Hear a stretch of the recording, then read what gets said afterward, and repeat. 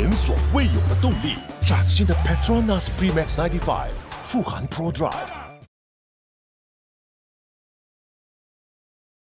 打开引擎盖，我们就可以看到这具4.0 L 的双涡轮增压超跑引擎，连超跑都比不上。套一句本地人所讲的啦，就是很方便 s 来 s 去。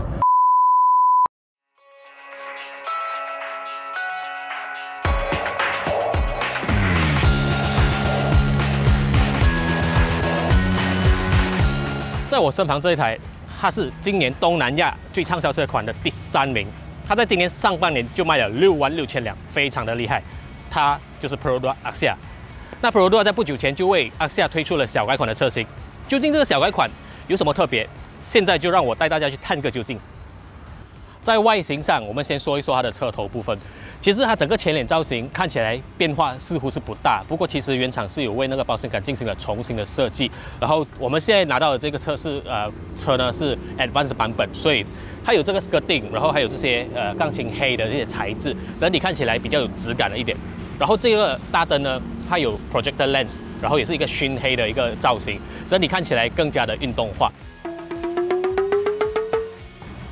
至于这个轮框部分呢，它的轮圈还是采用改款前的同样的一个设计。车尾的部分呢，那个跟动似乎更加的不明显。不过我们还是可以看到它的保险杆部分是有进行了稍微的重新设计。还有这就是呃之前改款前的 Advance 版本呢，其实它的尾灯是全白的一个设计，但是这一回小改款又换回了红色，相当不明白了，因为其实白色看起来还是比较运动化的。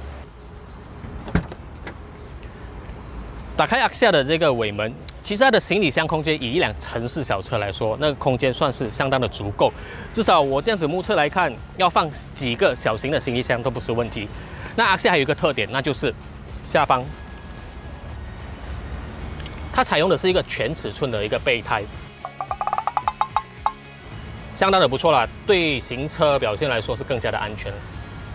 至于内装的部分，啊，其实原厂也是有进行了稍微的一些更动啦，包括这一个中控台的设计，它重新进行了设计。然后这一个主机呢，也是换成一个全新的主机了。这个主机相比改款前的那一台同样是触屏的主机，我觉得整体的那个质感是提升了不少。不过这一台 Axia Advance 它的最大卖点还是这一个东西，那就是 ASA 二点零了。这个先进主动式安全系统呢，它是二点零的版本，比起 MyV 身上的那个一点零还要更加的好。至于在我国消费者很注重的这个后座表现部分呢，阿夏以一台小车来讲，它的空间感是相当的惊人。我现在坐在呃这个阿夏的后座，我的身高是一六八，那我的腿部空间竟然还有两个拳头的位置，头部空间也是相当的充足。呃，那这一个小改款阿夏它的这个座椅的布置呢，也是这回也是相当的柔软，坐起来啊感觉还蛮舒服了。只是说这个腿部的这个支撑可能会稍微有点不足。但是阿夏有一个好处就是它有这个可调式的头枕，所以我的颈部可以很好的这样子靠在这个头枕上面。那身为国民车款，其实阿西亚有不少小巧思啦，像是有啊在后边这边有两个这个呃国人最爱的这个 d a d a r Hook，然后这边也是有这个呃女性相当喜爱的一个手提包的卡扣。相当的贴心。打开引擎盖，我们就可以看到这具4.0 L 的双涡轮增压超跑引擎。哎，没有啦，开玩笑啦。这一具引擎依然是熟悉的那一具1.0 L 的 VVTi 自然进气引擎，它的最大马力为67 horsepower，峰值扭力91 Nm，搭配的是四速 EAT 自排变速箱。根据官方的数据，它的油耗表现为21.6公里本 liter，这一个表现连超跑都比不上。在动力表现上，其实 Axia 很明显的告诉你，呃，我就是一辆 City Car，它的起步表现非常的轻快。我觉得这样的设定啊，很适合你平常呃出入口啊，或者是你呃交通的转率啊，或又或者是现在我遇到的这个塞车的路段，这样的设定其实是很好用的。只是说可能有时候啊，你停了下来过后，你中断再加速，这方面呢，相比起我家的老格丽莎，我就觉得哎。这个阿西亚的引擎似乎不太愿意处理，我觉得这样的一个调教可能是为了要呃兼顾到它的油耗表现而做出的一个妥协，但其实这个也不是一个问题，因为只要我大踩油门，变速箱它就会及时降档，然后给你更多的一个动力。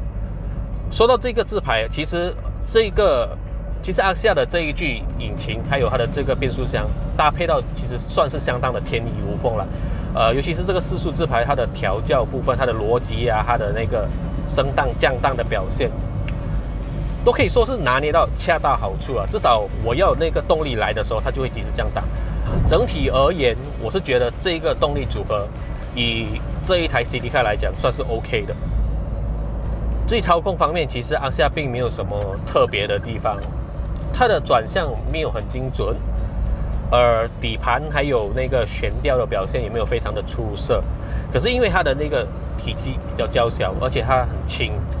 所以它带给你的反而是一种很灵活的一个体态。我要它去哪里，它就可以去哪里的那一种感觉。呃，套一句本地人所讲的啦，就是很方便下来下去。这样的一个身手，其实在市区驾驶来说是相当的好用的。其实我是觉得 Perodua 在这方面它是很实际，他很清楚知道呃阿西亚的潜在买家要的是什么，追求的是什么，所以他不会刻意去强调这台车的呃驾驶感啊，还是底盘的表现之类的。但相反，他却注重在一些啊这一个。价位的买潜在买家所要的一些东西，比如说它导入了呃 push start button keyless system，还有能够电动折叠的后视镜这一些配备，这些除了是潜在买家所要的，其实对于呃日常驾驶来说也是能够增添一定的便利性。所以究竟阿夏是不是一台好车？我觉得这一点呢，还是要回到一个很根本的问题，那就是你今天买车，你你的用途是什么？如果说你买了这台车，你天天要开很远，要开很快，又或者是你的你所开的路那个路况是比较有挑战性的，那我可以说的是，阿夏并不是很适合你。但是如果你今天买来只是呃平常这样日常代步，呃通勤用途，然后你也呃不需要开很快，你所走的路也是普通，就是那种所谓的市区路，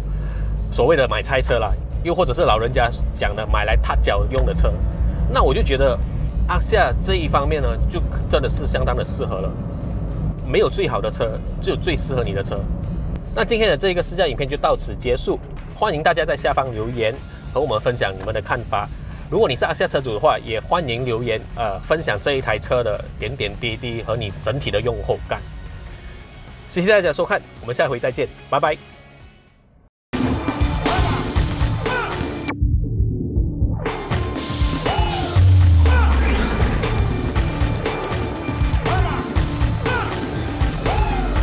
所未有的动力，崭新的 Petronas Premix 95富含 Pro Drive。